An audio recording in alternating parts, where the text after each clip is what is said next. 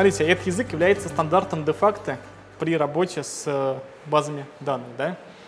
А, он у нас стандартизирован, есть стандарт ANSI SQL, да? есть разные реализации этого стандарта. Если мы возьмем, например, Oracle, там будет своя реализация, называется PLSQL, да? свой как бы диалект этого языка. Если мы возьмем а, BD от Microsoft, SQL Server, там будет своя реализация, называется TSQL. Либо Transact SQL по-другому, да? В MySQL базе данных, там MySQL язык. То есть разные фирмы предлагают свои реализации стандарта ANSI SQL. Какие там у нас есть подмножество операторов? Смотрите, у нас есть DML операторы. Это Data Manipulation Language.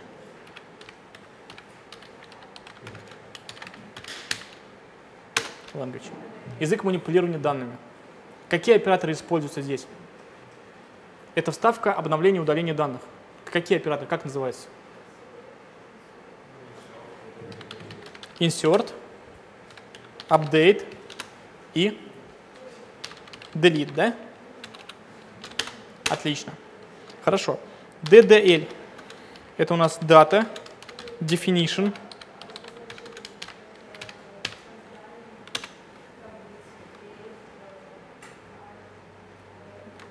Да, совершенно верно. Это операторы create, alter и drop. Так. Смотрите, вот в чем разница. Здесь мы имеем дело с структурой данных, с объектами базы. А, мы их создаем, изменяем, удаляем. Да? Таблички, представления, курсоры, процедуры, да? Там, пользователи, все что угодно – что есть в базе, мы с этими объектами работаем при помощи DDL. Создаем, обновляем, удаляем. А это работа, собственно, с информацией, с данными. Со строками, получается, да? Это операторы работают со строками insert, update, delete. Вставка строки, удаление, обновление строки, удаление строки. Что еще есть? DQL. Data query language, да? Язык запросов. Это оператор select, при помощи которого мы получаем данные в том виде, в котором хотим. Он очень мощный, у него очень много всяких ветвлений под операторов, да, как конструкции, которые позволяют делать весьма сложное, нетривиальное преобразование данных. Какие-то косметические преобразования, да, какие-то аналитические сложные, да, агрегация, аранжирование, транспонирование и все что угодно. Это все оператор Select. Основы вот этих вот операторов должен знать, пожалуй, любой разработчик, да? любой программист. Что еще можно включить в SQL? Data Control – language. Это язык, при помощи которого мы можем с вами настраивать права доступа к нашим данным. Мы можем разрешать какие-то операции, да? запрещать а, deny какие-то операции с данными, отзывать ранее выданное разрешение, revoke и так далее. Что еще? CCL есть. Это common, command language – язык базовых команд. Это то, что образует основу языка SQL, как алгоритмического языка. Это всякие конструкции, это всякие ветвления, всякие циклы, что еще? Всякие операторы множественного выбора, да? И прочее, прочее, прочее. В любом диалекте ANSI SQL это все есть, да? И при помощи языка SQL мы можем программировать весьма сложную логику. Давайте вот так. Вот возьмем товары, категории, да? Такое задание. Необходимо выбрать те товары, у которых цена больше, чем 20 тысяч.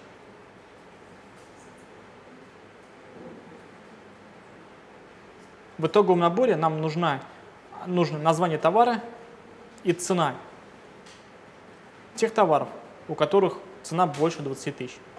Мы будем делать? И тут я буду писать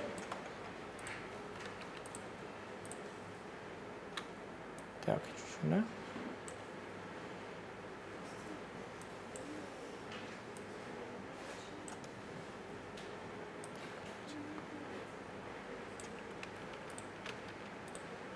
Итак, что я напишу? Select. Да?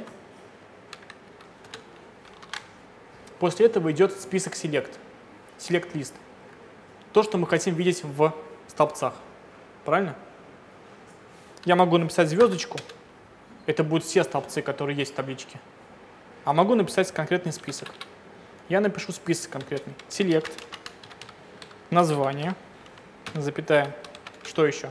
Цена. Потом from. Давайте, ну да, from. Что? Что после from?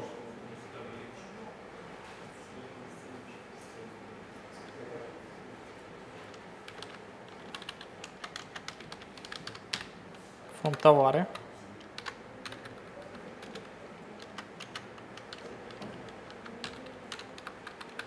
Where? Условие отбора какое? Цена больше, чем 20 тысяч, да? Select. Здесь у нас список того, что мы хотим видеть в столбцах. From – источник данных. Откуда берется у нас информация? Из какой таблицы? Потом можно написать where и условия отбора. Так, на что еще могут быть запросы? Смотрите. Если я вот так напишу select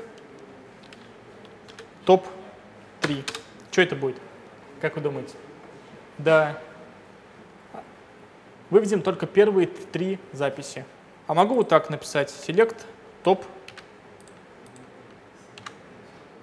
допустим, 30%. Первые 30% записей, да? Что еще? Могу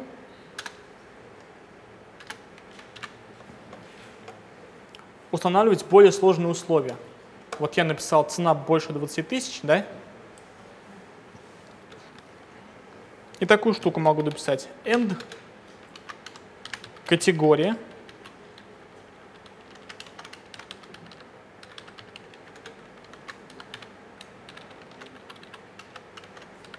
in 2,4.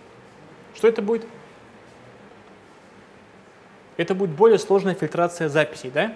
Я отберу те товары, у которых цена больше 20 тысяч и категория либо 2, либо 4. То есть в множестве 2 или 4. Правильно? Что еще можно делать? В списке Select можно писать какие-то произвольные выражения. Например, здесь вот не название. Сейчас уберу так.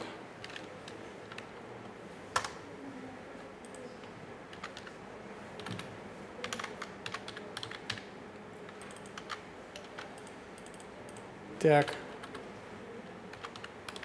Товар плюс название. Цена умножить на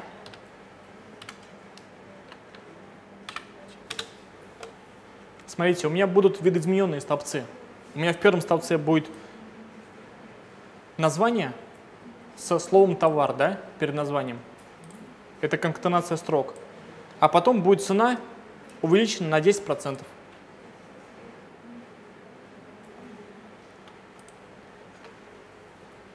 Так, хорошо. Если я вот так напишу, что будет.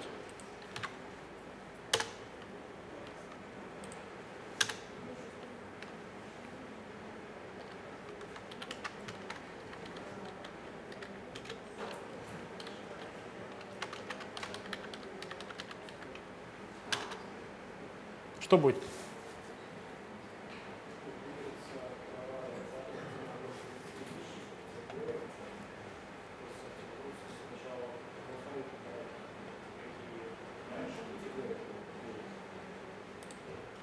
Да, если был бы здесь написано не group by, а order by, тогда да.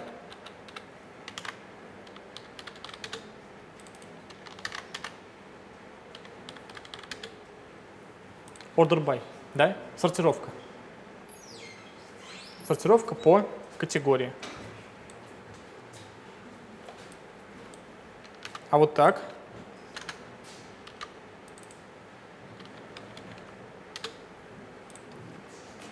Это будет группировка. Вот фраза by что делает? Она заставляет данные сгруппировать по какому-то критерию, по категории. Вот у нас сколько категорий в товарах? разных категорий сколько? Раз, два. Две категории, да? Первая, вторая. Написав фразу by, я заставляю а, базу данных в итоговом наборе вывести две записи для каждой категории. Для первой категории, для второй категории. А в табцах... Что? Нет. А вот, вот такая запись, категория, смотрите. Вот, уже будет работать. То есть выведутся все категории. И для каждой категории я могу посчитать какие-то агрегатные данные. Например, цену. Но цена будет какая? Не товаров уже, конкретных товаров, да? А уже цена для категорий товаров, для множества товаров. Здесь можем посчитать, например, суммарную цену или среднюю цену. Есть функция AVG,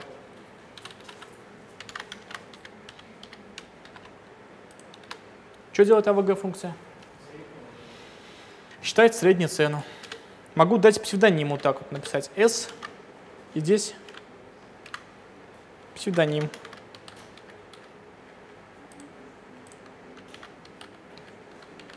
Средняя цена. Тогда будет у нас список категорий товаров, и для каждой категории указана средняя цена. Для категории 2 будет средняя цена товаров вот этого и вот этого, получится 32,5, да? Если средний посчитать. А для категории 1 будет подсчитана средняя цена вот этих товаров. Получится 7500. Понятно смысл группировки? При подготовке, пожалуйста, посмотрите вот эти операторы, да? Я вам скину презентажку и скину вот этот файлик, который мы сейчас набросали. Он небольшой, но тем не менее. Так, хорошо. Что еще можно устанавливать? Как вы думаете, что я сделаю, а, если я захочу объединить информацию из двух табличек? Допустим, мне нужна информация о товарах, и для каждого товара, чтобы была прописана категория, название категории. Не номер категории, а название категории. Знатоки, давайте, скажите мне, что я буду использовать. Да, буду использовать join. Итак, смотрите, я пишу select, select, название, запятая,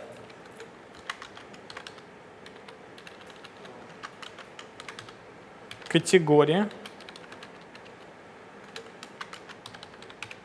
from, товары,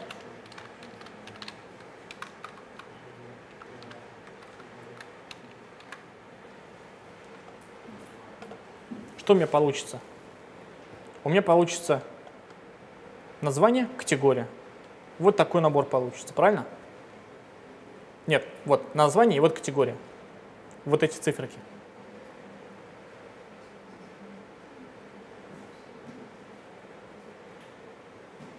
Чтобы прописать сюда название категории, прям словами, да, принтеры, ноутбуки и так далее, мне нужно указать столбец вот из другой таблички. Вот категория. Из таблички категория, правильно? Я что сделаю? Я укажу ему, что этот столбец у меня из таблички категории, точка, категория. А это у нас столбец из товары. Правильно? Товары.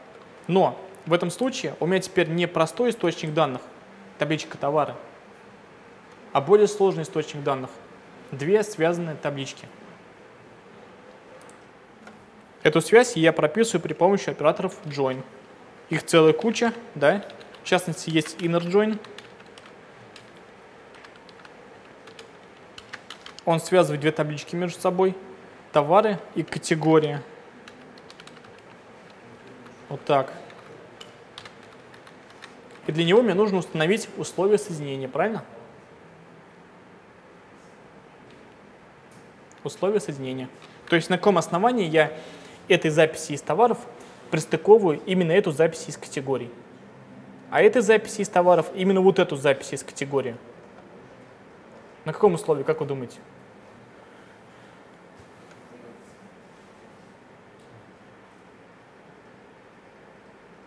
Просто так вот, если подумать логически, на каком основании мы вот эту запись, этот Asr Aspire, связываем именно с ноутбуками. А вот эту запись HP DeskJet мы связываем именно с принтерами.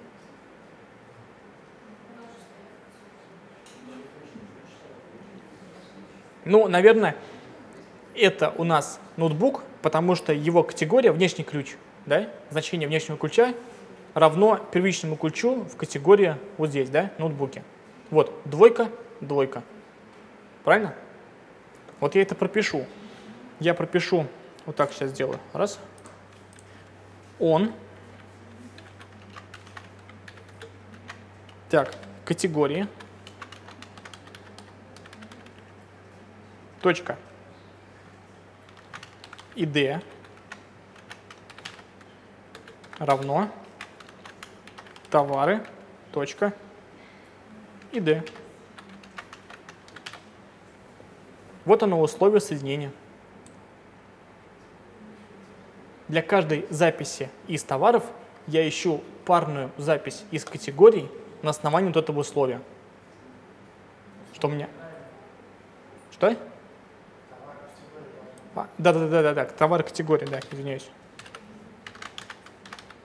А то получился один к одному, да? Вот так. Это внешний ключ в товарах. Он должен быть равен первичному ключу в категориях. Правильно? Сможете запрос на join построить простенький вот такой? Я думаю, что сможете.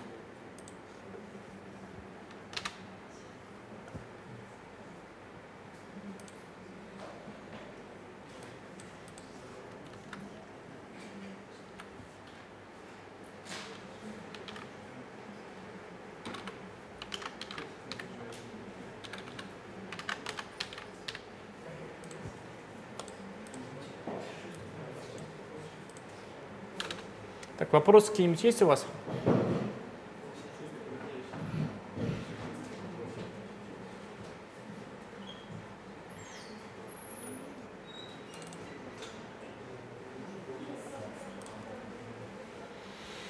Что-нибудь спросите, что ли?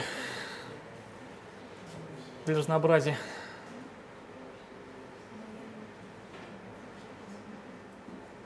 Да.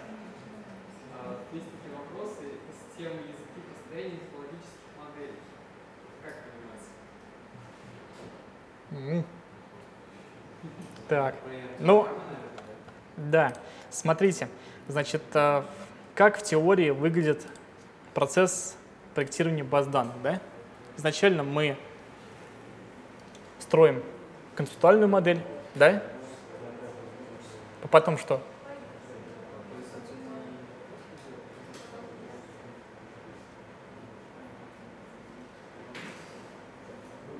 Концептуальную логическую, физическую, да? То есть сначала мы с вами определяем а, границы предметной области, да, которую мы автоматизируем, выделяем сущности, выделяем атрибуты сущности, да? Потом мы с вами строим э, структуру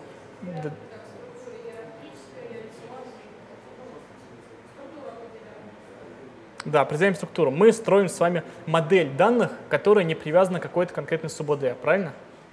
Есть много языков для этого. Вот, в частности, есть ER-диаграмма, э, да? Почему ER диаграмма? Потому что entity relationship, да? Диаграмма сущность связь. Там у нас есть специальное обозначение, там сущности у нас прямоугольнички, да? Отношения между ними это ромбики, да? Атрибуты это овалы. Но все видели ER диаграммы. Сейчас можно в Google вбить ER диаграммы, да? Картинку какую-нибудь вывести и увидеть, что это такое. Так, давайте. ER диаграмма. Я прям беру картинку какую-то произвольную и прям вот в первую тыкаю.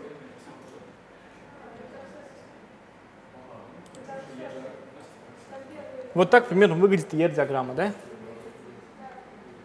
Сущности в прямоугольничках, связи между ними в ромбиках, атрибуты в овалах.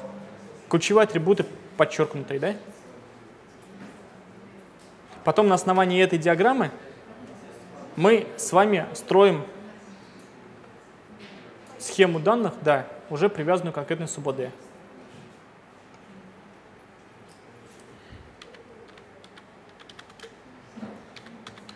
Схема данных.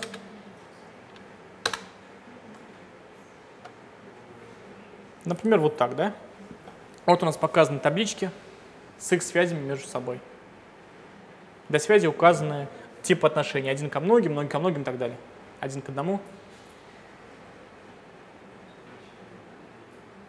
Помимо этого у нас еще есть физическая модель. Это то, как у нас база, что из себя база представляет физически да, для нашей конкретной СУБД. Мы определяем с вами, а, какие файлы будут включаться в базу, да? потому что файлов может быть много в базе. Как они будут объединены в файловые группы. Какие будут партиции у таблиц, да? Или, и будут ли они вообще, то есть разбиение таблички на части какие-то. Какие будут индексы, какая будет вообще структура у табличек. Это все физическая модель.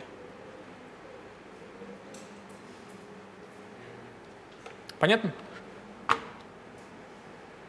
На первом этапе мы с вами определяем сущности, их атрибуты и строим, например, ER-диаграмму. Да? Смотрите, индексы, что это такое? Индексы — это объекты баз данных, которые позволяют ускорить поиск информации в таблицах. Я буду приводить примеры, ну, аналогию с книгой. Представьте, у нас с вами есть книжка толстая по базам данных, например, да? В ней 2000 страниц. Мы ищем информацию, скажем, про транзакции. У нас нет названий глав, они между собой никак не упорядочены, нет предметного указателя в книжке. Что мы будем делать, чтобы найти информацию про транзакции? Нам придется искать на каждой странице, да? Перебирать страницу за страницей. Когда мы найдем информацию про транзакции, не факт, что там дальше еще нет информации про транзакции, да? более расширенной, например. Мы ищем дальше. И пока мы не пройдем всю книжку, мы не успокоимся. Согласны со мной? Вот у нас данные в табличках хранятся неупорядоченно. И по умолчанию базе приходится делать то же самое. Приходится делать полное сканирование таблички, когда мы что-то хотим найти. Она просто тупо перебирает все записи, которые есть, в поисках нужной. А что нам может помочь при поиске информации в книжке? Смотрите, мы с вами ищем информацию про транзакции, да?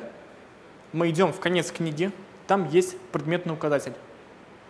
Он называется индекс обычно, да, в англоязычной литературе. Там, в этом индексе у нас есть алфавитный перечень терминов, которые в книжке у нас упоминаются, да? Мы по алфавиту ищем термин транзакции. Как мы ищем? Очень просто. Мы переворачиваем примерно на середину списка. Там какая буковка? Буковка N, например, да? Нам куда идти нужно? В первую половинку или вторую половинку? Во вторую, да, потому что T у нас после N. Вторую половинку делим пополам. Там, например, у нас термин на букву а, там x, например, да? Куда идти? Влево, вправо? Влево, да? Таким образом, мы быстренько находим наш термин искомый. Это транзакции. Дальше что? Мы видим, что транзакции упоминаются на 121 страничке и 286. И мы можем по этим ссылочкам перейти на нужные страницы и найти искомую информацию. Согласны со мной? Вот есть индексы, они называются не кластерные индексы, да? Они очень похожи на предметные указатели в книжке. То есть есть таблица, набор записей, да? Записи могут быть неупорядоченные, но отдельно есть алфавитный перечень наших индексных ключей. И при поиске строки мы сначала ищем нужный термин в этом алфавитном перечне, и потом переходим по ссылочке в нужное место или в нужные места, если их много. Вот такая структура, есть индекс, да? В частности, не кластерный индекс, вот в нашей ситуации, да? Полная аналогия с предметным указателем в книжке. Давайте попробуем определить плюсы-минусы этой структуры индекса. В чем плюс? Плюс очевиден в том, что ускоряется поиск, да? Причем бывает очень сильно ускоряется поиск. Ускоряется кардинально. Минусы в чем? Да, совершенно верно. У нас замедляется операция DML, операция манипулирования данным, да, данными. Почему? Потому что теперь при вставке строк, обновлении строк, удалении строк нам нужно, собственно, э, сделать действие с самой строкой, и еще плюс сделать так, чтобы индекс у нас соответствовал новым данным. То есть привести в порядок еще и индекс. Допустим, если мы добавляем новый раздел по транзакции на страничке 14, то мы должны и в индекс включить новую ссылочку, да, что транзакция у нас на 14 страничке еще находится. При удалении абзаца про транзакции мы должны еще и в индексе это поле удалить. То есть индекс должен быть у нас соответствующим нашим данным, он должен быть актуальным. Поддержка актуальности требует ресурсов. Еще есть индексы кластеризованные – на что они похожи? Они похожи на то, как бы, если у нас книжка была бы словарем. Вот представьте себе словарь, да, толковый словарь. В нем каждая глава, ну, все главы, они упорядочены физически. Термины на букву А идут перед терминами на букву Б, да? Термины на букву Я идут в самом конце. Когда мы ищем информацию в этом словаре, мы с вами можем использовать сам словарь. Мы берем его, открываем посередине, ищем слово транзакции, да? понимаем, куда идти, в первую половину, вторую половину. И очень быстро находим искомое слово, искомую статью. Вот кластерные индексы, они делают то же самое с таблицей. Представьте, у нас есть, например, товары, да, и мы делаем кластерный индекс по а, названию товара по названию товара. В этом случае индекс делает так, что у нас строки будут физически идти по алфавиту. То есть в нашем случае Acer, Asus. Ну, так и будет, да? Они уже упорядочены, получается, по, по алфавиту. Вот. Если бы они не были упорядочены, они упорядочились бы. Сама табличка становится у нас словарем, да? Строки физически упорядочены. Как вы думаете, сколько индексов кластерных может быть в табличке? Один и не больше, да? Может быть ноль, может быть один, но не больше. Почему? Потому что если мы с вами наряду с упорядочением физическим по названию сделаем еще упорядочение по цене, то у нас второе упорядочение по цене убьет первое упорядочение. Правильно? При этом не путайте, мы можем с вами сделать индекс один на два поля, составной индекс. То есть индексировать по названию и по цене одновременно. Так можно делать. В этом случае товары с одним названием будут еще по цене отсортированы. Но одновременно два индекса делать независимых, один по названию, другой по цене, мы не можем. Все понимают почему, да? Отлично. Теперь, а сколько индексов может быть не кластеризованных? Сколько угодно, ничем не ограничено. В реале, например, там в SQL сервере мы можем 259 индексов сделать в табличке, не. В новых версиях, может быть, даже ограничение это снято, больше можем делать индексов. Почему? Потому что у нас один список индексных ключей, упорядоченный по алфавиту, не убивает другой список индексных ключей.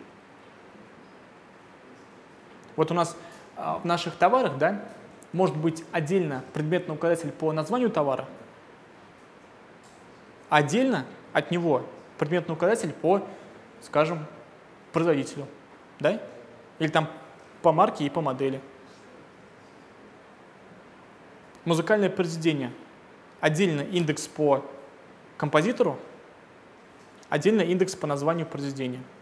Один индекс другому не мешает, правильно? Поэтому их может быть несколько.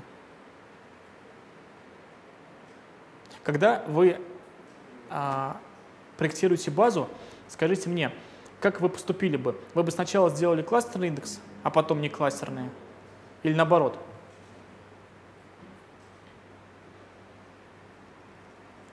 Как выгоднее делать с точки зрения ну, оптимальности? Как оптимальнее поступить?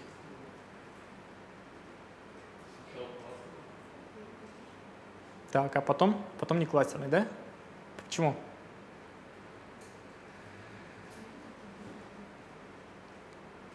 Ну вот представьте, мы с вами сначала сделали не кластерные индексы, да? То есть сделали дополнительные списки индексных ключей, упорядоченных по алфавиту. Сделали как бы предметные указатели в конце книги.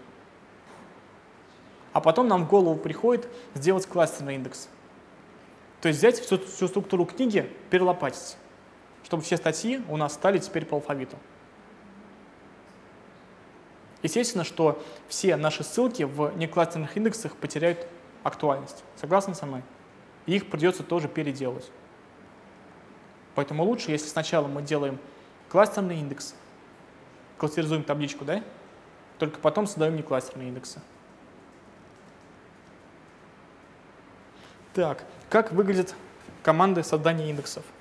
Ну, их можно делать через графический интерфейс баз данных, да? Можно использовать SQL. Смотрите, например, create индекс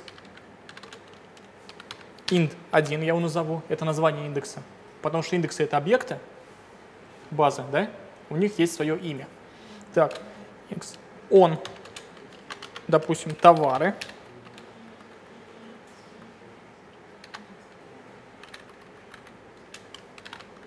в скобочках столбец, на котором я, на который я основу индекс, так, название, например, да?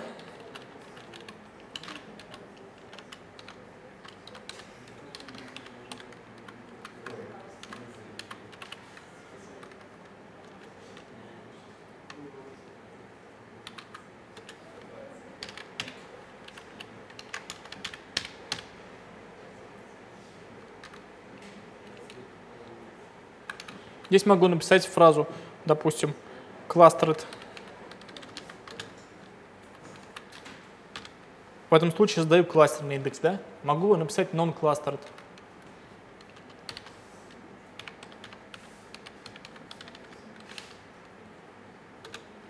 Clustered, non-clustered. Могу написать unique слово. В этом случае я создам уникальный индекс.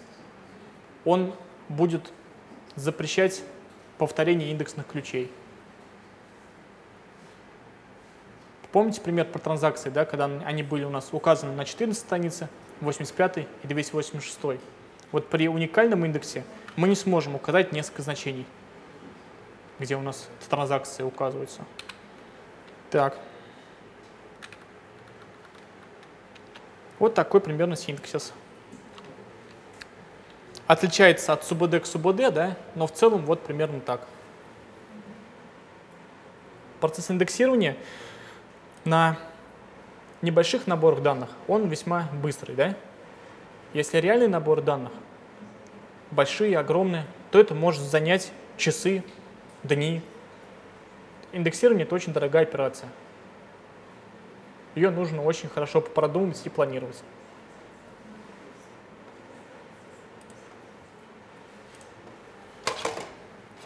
Когда мы с вами пишем запрос, какой-то селект, да?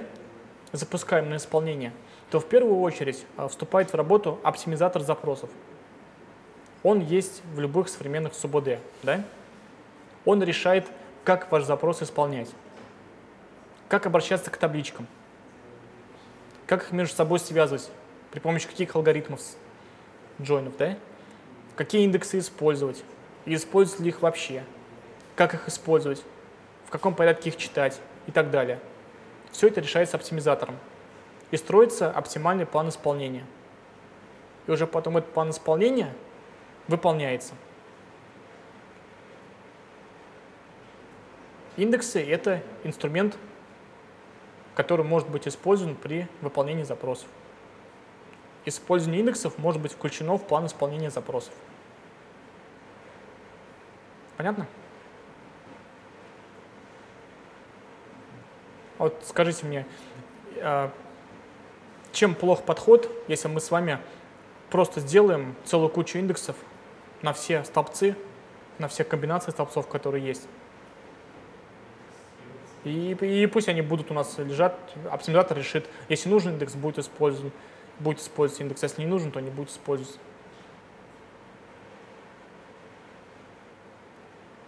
Почему нужно очень взвешенно подходить к определению количества индексов.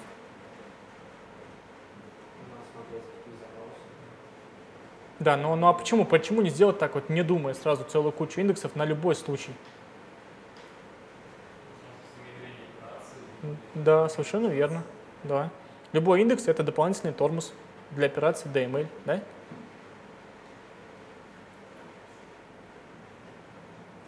Если у нас поле не используется в запросах, то смысла его индексировать нет, да?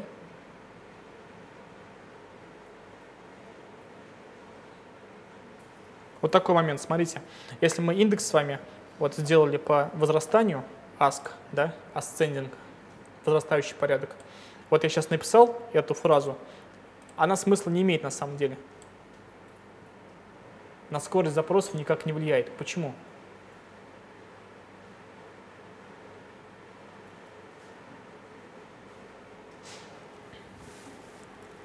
Почему указание в этом случае направления индексирования не влияет на план исполнения запросов?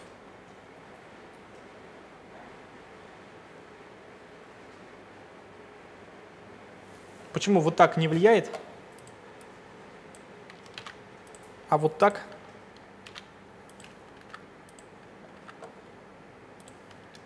Допустим, такая ситуация. Давайте так сделаем. Так, это у нас будет марка.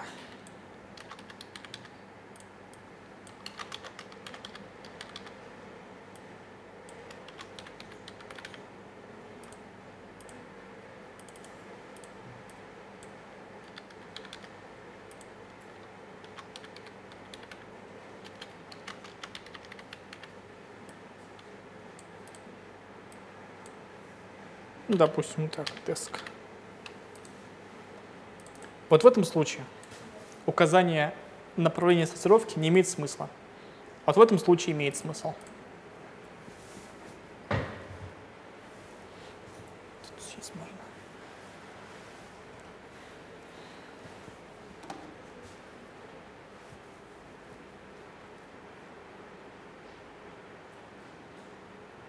Смотрите, тут дело в том, что база данных СУБД, да, СУБД, она может читать индексы как в прямом направлении, так и в обратном. Ей все равно, как индекс читать. Вперед, либо назад.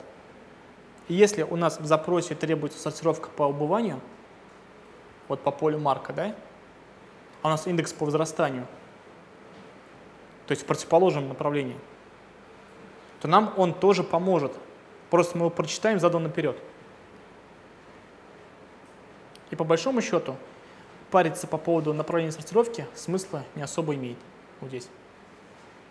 В случае разночтения, да, в запросе требуется одно направление, а в индексе другое, мы просто прочитаем его задом наперед. Но если у нас индекс составной, вот так вот, на марке, на модели, да, на двух столбцах, то есть используется составная сортировка, то в этом случае уже сортировка по марке имеет смысл, правильно? Потому что если у нас будет запрос на сортировку по марке по возрастанию, по, по убыванию, а по модели по, ну тоже по убыванию, то этот индекс уже, наверное, не очень поможет. Правильно? То, что в нем будут а, значения ассоциированы по марке и по модели. В рамках каждой марки еще будет упорядочение по модели. Соответственно, модели у нас упорядочены, если так вот на индекс в целом смотреть, у нас не будут, правильно? Модели будут сначала на букву А, потом на букву Б, потом на букву В, да? И так до Я. А потом снова пойдет на букву А, на букву Б, на букву В, потому что другая марка уже начнется. Если запрос потребует у нас набор данных с моделью, отсортированной по возрастанию, то уже не получится, да, или по убыванию. То есть сортировки по, по модели у нас нет, получается, сквозной. Такие вот нюансы нужно учитывать при проектировании базы.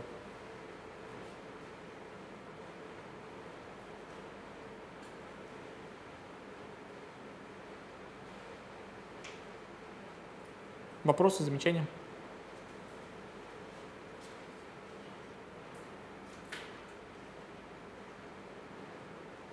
Итак, смотрите, логическая модель, что это такое? Это сущности, атрибуты, которые есть в сущности, да? Отношения между ними. И ER-диаграмма какая-нибудь, без привязки к базе данных. Потом что? Дат-логическая модель, да?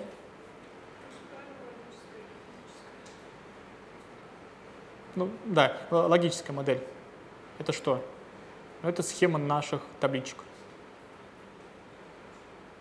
Физическая модель – это уже то, как данные реально представлены на носителе. Файлы, файловые группы, партиции таблиц, да? то есть их части физические. Индексы. Индексы тоже могут быть партиционированы. То есть тогда будут еще части индексов.